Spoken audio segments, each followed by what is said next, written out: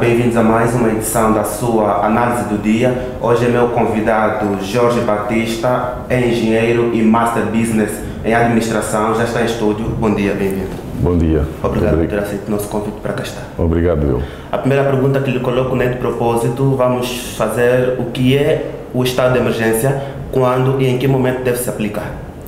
Bom, o estado de emergência é aquilo que nós eh, verificamos, neste momento até estamos a viver, porque existe uma necessidade de, eh, do país tentar prevenir esta pandemia. A pandemia do Covid-19 é uma pandemia muito séria, eh, daí que mais vale prevenir, antecipar algumas situações do que ter prejuízos maiores. Uh, o Presidente da República, ao, ao, declarar o estado de emergência, eu penso que uh, foi inteligente e foi oportuno, uh, porque há necessidade, num país onde existe um povo com algumas dificuldades, existe um povo que não, não, não, não entende muito de procedimentos e processos quando existem esse tipo de calamidades a nível global. Falando em dificuldades, nós temos, digamos, a nossa população muito rural, há populações mesmo pobres que nem água para consumirem têm. Com esse decreto de que as pessoas devem ficar em casa e quem andar pelas ruas de Luanda será detido pelas nossas autoridades, acho que não vai ser compatível à realidade. Bom, eu penso que ontem as autoridades eh, já vieram esclarecer um bocadinho esse assunto. Eu fiquei assim com a sensação de que as pessoas poderão andar uh, devidamente, uh, não digo autorizadas, mas tiverem algum bom motivo para fazê-lo. Não é? Uh, será que, portanto, as pessoas vão poder ficar em casa, como você diz? Eu penso que não, porque as pessoas precisam de sobreviver. Não é? A maior parte das pessoas vive do pequeno negócio vive do empreendedorismo informal e quem vive do empreendedorismo informal, obviamente, que precisa eh, todos os dias ir à rua a procurar o seu pão para alimentar a sua família. Segundo o decreto do Presidente da República, João Manuel Gonçalves Lourenço, o Presidente diz que o nosso país está a viver uma situação, ou atravessa uma situação de precária, de bastante calamidade. Qual será o impacto que este decreto terá, terá para a nossa economia? Bom, precária nós sempre vivemos. Nós somos um país que temos uh, hoje, não é só pela pandemia ou pelo Covid-19, mas nós vivemos sempre um, uma situação precária, quer económica, quer social, não é? quer falta de infraestruturas, quer falta de saneamento básico. Uh, não é o Covid-19 que veio alertar sobre esta, esta situação que o país vive já há algum tempo. Portanto, a economia uh, já anda doente também há algum tempo, as empresas estão doentes, estão acamadas, eu costumo dizer que a maior parte das empresas estão acamadas, algumas até em coma, em estado de coma, não é? Coma económico, porque não têm condições para manter a sua atividade. Uh, hoje o mercado quase é inexistente, não há, não há rentabilidade a nível dos negócios Daí que uh, esse tipo de medidas só vem ajudar num sentido, no sentido de uh, diminuir o risco comunitário uh, do Covid-19. Portanto, vai evitar que as pessoas vão para a rua por, em excesso. Obviamente que os teimosos vão, os não teimosos ficarão em casa.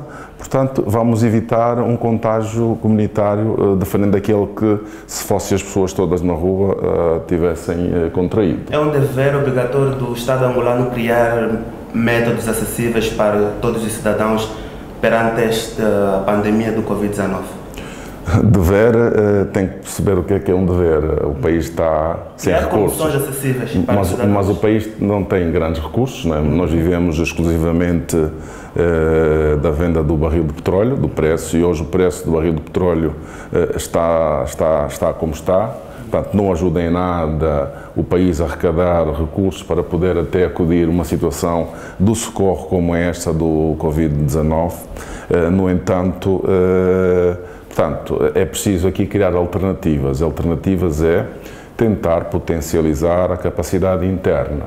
A capacidade interna hoje existe, apesar de alguma, de alguma resistência das pessoas dizerem que há falta de infraestruturas, mas existe. Portanto, existem também eh, infraestruturas eh, públicas que devem ser aproveitadas, no meu entender, para contribuir para o sucesso das necessidades das populações e, e, do território, portanto, ficar com mais desafogamento naquilo que é as necessidades da alimentação em primeiro lugar. A população angolana não está preparada para este, para este decreto? Não, a população não está, porque a população maioritariamente é, é informal. Nós temos hoje, portanto, quase 80% da população vive uh, da informalidade. Para sobreviver tem que vender alguma coisa, temos aqueles aquele jovens eh, que têm que lavar um carro todos os dias para conseguir 500 kwanzas por dia ou 1000 kwanzas para poder sobreviver. Temos as senhoras que têm que zungar todos os dias para alimentar os seus filhos, porque não há emprego, há uma inexistência de empresas. Quando no mercado como o nosso há uma inexistência de empresas, obviamente que você terá aqui a dificuldade de tentar agizar programas como este de, de, quarentena ou de emergência e as pessoas, portanto, por alguns recursos que tenham... O direito à liberdade e, algum, e outros direitos, será que estarão condicionados? Estarão e penso e acho que bem, acho que devem ser eh, limitados, não é? Eh, não podemos é, ser limitados àqueles direitos essenciais, não é? Portanto, há, existem direitos que nesta fase devem ser limitados, portanto, eh, porque para o bem de, de, todos nós, não é? Porque se houver aqui uma, portanto, se houver aqui, cada um faz o que quer, eh, obviamente que o contágio comunitário será maior.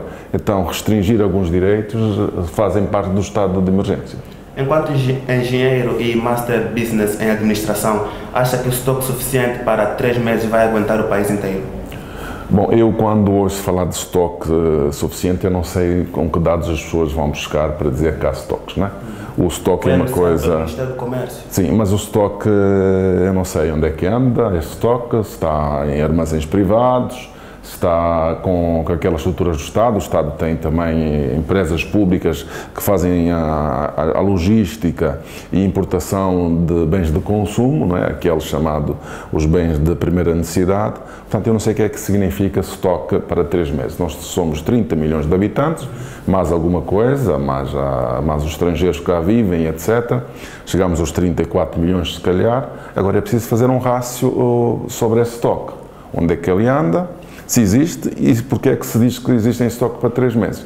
Eh, pode ser, eh, eu costumo dizer, cada um, cada um puxa a brasa para a sua sardinha, pode ser que os empresários ligados ao setor da alimentação querem vender o seu, o seu, a sua marca, o seu produto e vão dizendo isto, mas na minha opinião muito pessoal, eu tenho algumas dúvidas que haja estoque para três meses. Segundo as declarações da Ministra da Saúde, Silvia Lotucuta, afirmou recentemente que apareceu mais um caso e adicionou-se aos três existentes positivos do Covid-19. As informações são aquelas de se interrogar, na opinião do senhor? Não, é assim, nós temos que... São informações verdadeiras, o Estado eh, não está a amputar informações? Eu penso que não, é assim, nós temos que deixar de ouvir um bocadinho as redes sociais e passar a, a ir buscar informações nos canais oficiais. Uh, se a Ministra da Saúde diz que agora há o quarto caso, Obviamente que o país está controlado, porque o país tem um sistema tanto de inteligência, tem um, um sistema de saúde, apesar de débil, mas que consegue, cada vez que vai detectando um caso, uh, catalogá-lo e, e, e, informar uh, portanto, aos organismos internacionais e, consequentemente, ao seu povo. Penso que temos quatro, não, temos quatro, porque há países também estão entre os dois e os três. Agora, é preciso perceber que Portugal, Espanha e Itália começaram com dois. É? Nós também estamos a começar, quando começamos com dois, portanto, se não houver outras medidas de contingência, eh, portanto, não só a medida, não só o estado de emergência, mas se as pessoas não estiverem preparadas para cumprirem com os pressupostos, obviamente que poderemos ter eh, um caso igual ao da Itália ou de Espanha. Os 15 mil testes que estão para se divulgar e foram feitos, Bom, esses 15 mil testes vão, poderão então surgir brevemente novos resultados. De repente, de 4 podemos passar para 20 ou para 50. O que mais preocupa é, é mortes. Portanto, se não tivermos mortes, obviamente que estamos no bom caminho. E, e, portanto, eh, como dizem que o nosso clima favorece, obviamente que nesta fase ainda do, do, do verão e do calor, eh, alguns problemas poderão ser poderão ser, ser resolvidos. Agora, o meu grande medo é se isso aumenta e estamos aí a chegar no cacimbo e poderemos ter um pico eh, incontrolável da situação. Deixa o nosso governo angolano perante esta situação? O Conselho, é assim, não, eu não sou nenhum sábio para deixar uh, conselhos ao Governo. O Governo tem uma equipa muito competente e acho que sabe o que deve fazer para evitar situações de, de calamidade como, como esta que está, está acontecendo em alguns países. Somos um país com muitas dificuldades, quer económicas, quer sociais. Portanto, é preciso que haja trabalho, é preciso que haja empenho e é preciso que as pessoas sejam sérias e consigam então dar o seu melhor para evitarmos males eh, maiores para o país. Doutor, muito obrigado por ter aceito o nosso convite. Obrigado, Esperamos em próximas oportunidades. Muito obrigado. Jorge Batista foi meu convidado, é engenheiro e Master Business em Administração.